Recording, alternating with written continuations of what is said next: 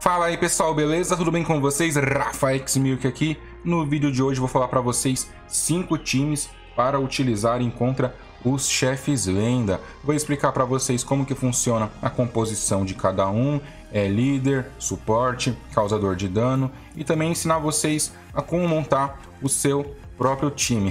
Por isso eu vou humildemente pedir para vocês, deixa o like no vídeo e se inscreva no canal para mais conteúdo, beleza?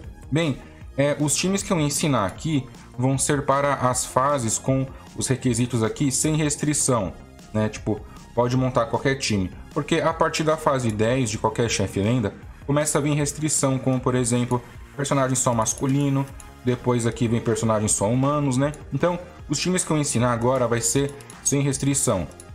Então, vai ser bem amigável aí aos jogadores é, iniciantes, intermediários, né? Jogadores free to play de forma geral. Bem, vamos lá para o primeiro time. de cara aqui, eu vou ensinar para vocês um time que eu recomendo muito, que é, é, se aproveitando aí da minha escolha principal do seletor T3 aí que a gente teve no aniversário, e é a Sharon Rogers. Ela é muito boa nesse modo, muito boa mesmo. Ela tem boa sobrevivência, causa dano, tem rotação fácil aí, né? A T3 dela é muito poderosa. Também o dinossauro deu aí um bilhete para colocar personagem nível 80.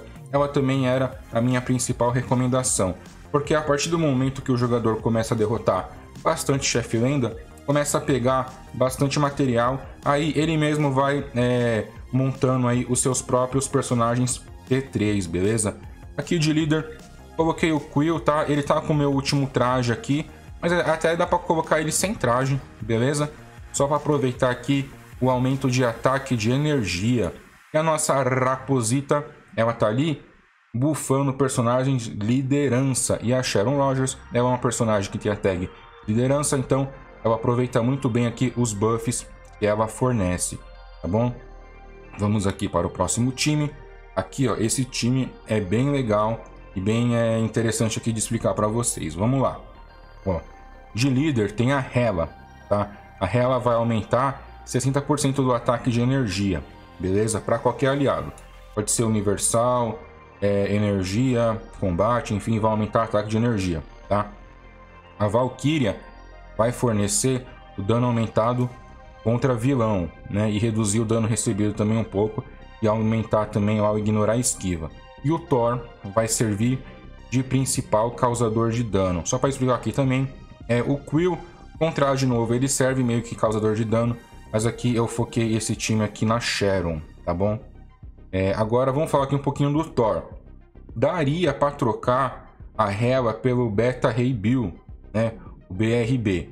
Só que é o seguinte, se você já tem no seu Thor o CTP do julgamento, já tem aí é, bastante é, dano de raio, talvez você colocar o Beta Ray Bill aqui, você vai gargalar o dano de raio no seu Thor. Então é interessante você colocar para ele aqui mais dano de energia para somar com dano de raio, entendeu? Então essa é a minha composição.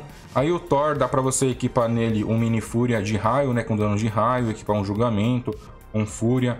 Na Sharon aqui dá para equipar uma energia, uma destruição ou um obelisco aí com ativação de dano, né, de 180, 200%, 160, tá? Bem, vamos aqui agora para o terceiro time. Vamos aproveitar uma personagem nova aí que chegou na parada, muito forte, é a Gamora. A Gamora, ela tem uma posição interessante aqui no time, porque ela, além de ser a própria liderança, né? Porque para personagens velocidades, ela bufa o seu próprio ataque. Ela se aproveita aí da possibilidade de utilizar dois suportes. Aí quem que eu separei para Gamora aqui nesse time? A Shuri, que vai ter um papel aí bem parecido com o da Valkyria, né? O nosso amigão Groot com um traje novo. Ele com esse traje aí bufa o dano contra chefe. Então, para aproveitar aí os trajes novos, né? Ficar um pouquinho mais aí em dia com meta, eu gostei desse time, esse daqui seria um bom time, tá? Agora para Gamora é o seguinte, se você gosta de Bax ou Bal, né, Batalha de Aliança Extrema ou Batalha de Aliança Lenda, você vai equipar nela aí um Fúria. Agora, se você é focado em chefe, dá para equipar aí é, um Energia, um Destruição Reforjado, ou por enquanto que não tem nenhum dos dois aí, né? equipa nela uma ativação de dano normal mesmo, parecido com a Sharon, 200%, 180, tá? Tenta capitalizar bem no dano dela, aproveita que ela causa bastante dano e é bem legal de jogar, tá? Vamos aqui agora para o quarto time. Ó, esse time é o seguinte, ele pode parecer um pouquinho caro, né? Porque ele vai precisar dos três trajes. Porque é o seguinte, ó. É, esse time aqui, de verdade mesmo, só precisa de um traje. Que é o traje da Sharon, né? O Senhor das Estrelas dá pra usar sem traje, a Raposa também. Esse time aqui, é, dá pra usar com um traje só também, com o traje do Thor, né? A Hela e a Valkyria dá pra usar sem traje, mas lembrando aqui que todos eles têm que estar tá com avanço máximo, né? Transcendido ou T3, beleza? É, aqui vai precisar de pelo menos dois trajes, né?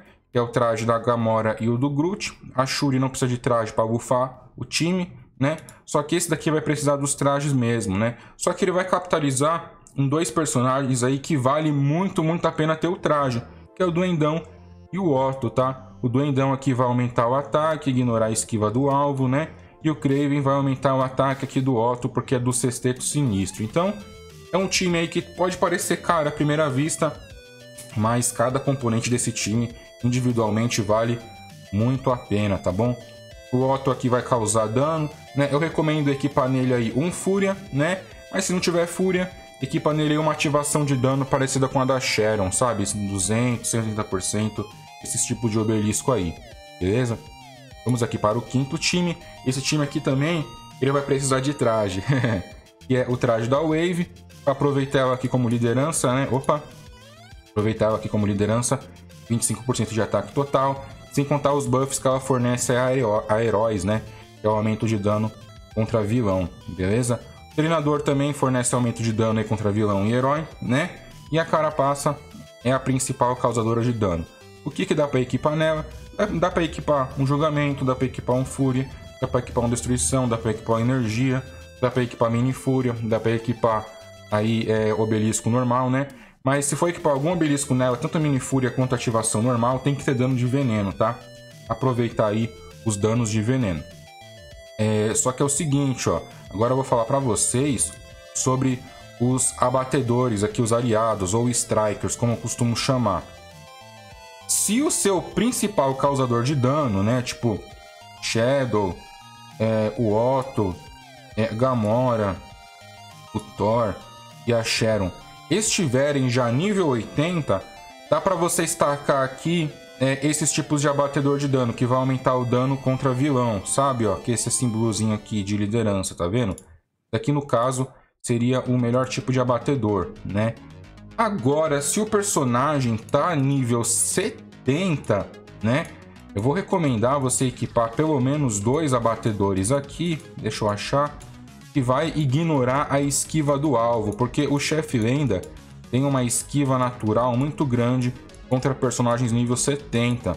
Caramba, cadê? Aqui, ó. Pelo menos uns dois assim, entendeu? Para ignorar a esquiva do alvo, porque senão você não vai acertar nada, você vai ter dano e não vai acertar. Um outro detalhe também é que alguns suportes nativamente já fornecem ignorar esquiva, tá? Como por exemplo aqui a nossa Valkyria e o nosso amigão aqui, o Duendão, ele também já fornece ignorar esquiva no alvo. Então, fica de olho, fica de olho nisso na hora que estiver distribuindo aí os abatedores. Vou falar agora três times extras aí, né? Um deles aí é bem caro, mas eu vou falar aí só para ajudar vocês. É esse time aqui, né?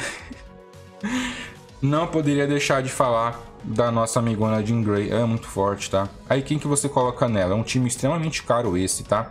Polaris e líder, né? Porque ela vai bufar o ataque contra o ataque para mutante, sem contar que ela tem uma passiva aí de aumento de dano contra vilão, né? E o nosso amigão aqui, o Pantera Fantasma, que ele também tem passiva aí de aumento de dano de fogo e aumento de dano contra vilão. Dá para você fazer isso também, né?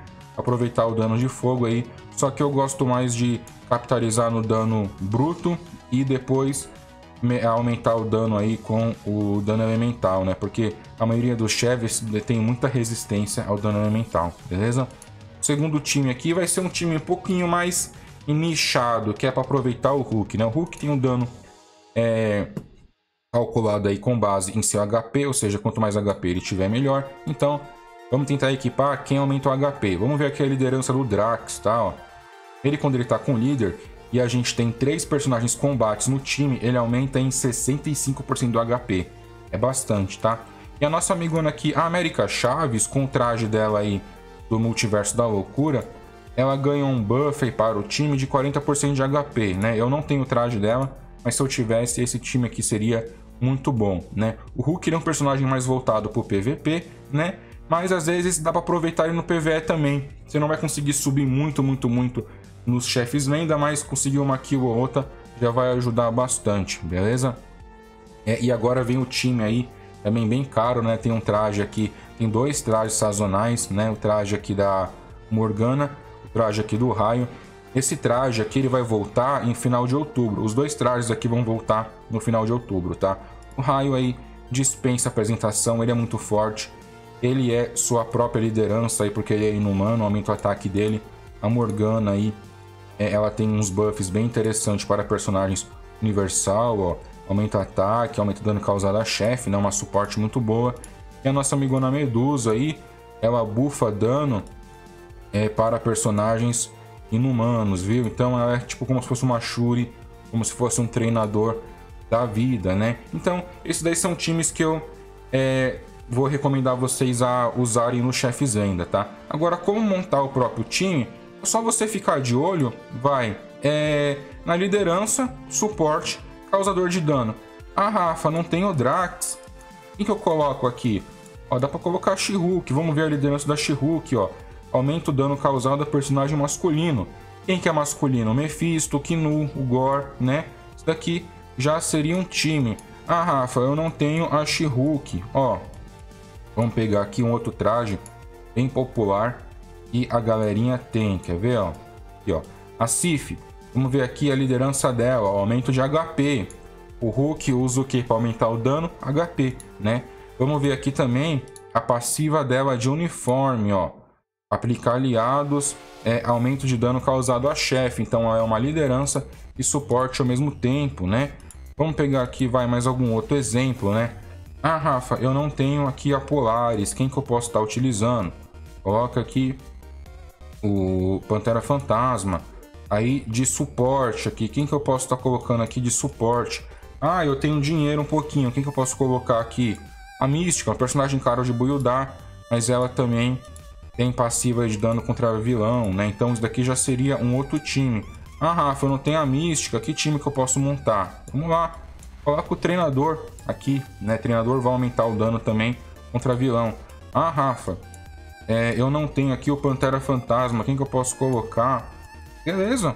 Aumenta o dano de forma bruta aí. Coloca o Duendão. Né? O Duendão, ele aumenta a... Ele aplica a todos os aliados aumento de ataque, né? Sem contar que ele também é um suporte, né? Eu esqueci de mencionar esse detalhe. Ele é liderança e suporte. É... Ah, Rafa, não tem um Duendão. Taca ela. Entendeu? Então, esse é o sentido dos times do chefe lenda. É o que? Liderança Fica de olho aqui no buff de liderança, suporte, fica de olho nos buffs de suporte, tá bom? Quer ver? Cadê o buff de suporte treinador é aqui, no uniforme. E causador de dano. Causador de dano é auto-explicativo. Personagem que cospe dano, né? Que tem muito dano. Então é isso aí, galerinha. Isso daqui vão ser minhas dicas para vocês aí como montar chefe lenda. Qualquer dúvida, deixe nos comentários aí que o Rafão vai responder, beleza? Muito obrigado a todos os inscritos, a todos os membros do canal do Rafão e aos membros de categoria máxima, Alfeiar, Marcos Vini, Lucas Silva Júnior 182, Anderson Berdiano, 02, Luiz Alberto. Valeu, galerinha. Obrigado do fundo, do fundo, do fundo do meu coração. Até mais.